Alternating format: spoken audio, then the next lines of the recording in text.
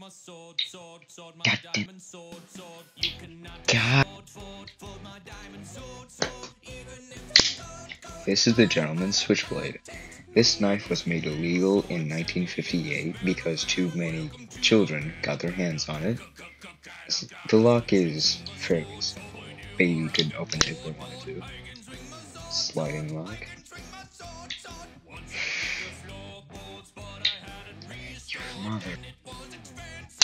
I'm fairly new to knife collecting, so this is one of the better knives. I'm really proud of this one.